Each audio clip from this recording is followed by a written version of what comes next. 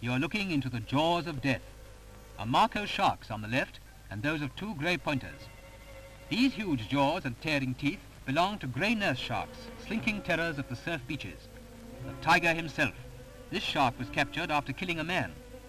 The silver surfing beaches of the New South Wales coast, famous the world over, have their perfection marred only by the menace of sharks.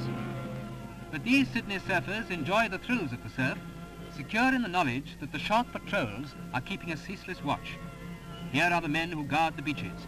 The lookouts scan the sea for the red triangular fin that indicates the prowling shark. And there it is.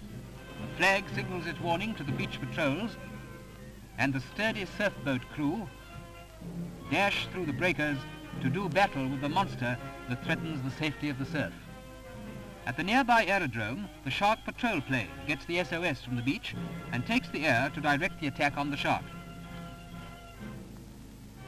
Sturdy lifesavers drive their surfboat through the crashing waves as they dash towards the danger area. They don't count the risk. Shark hunting is their game. And so they run down the lurking monster. The harpoon flashes, and there's one shark the less.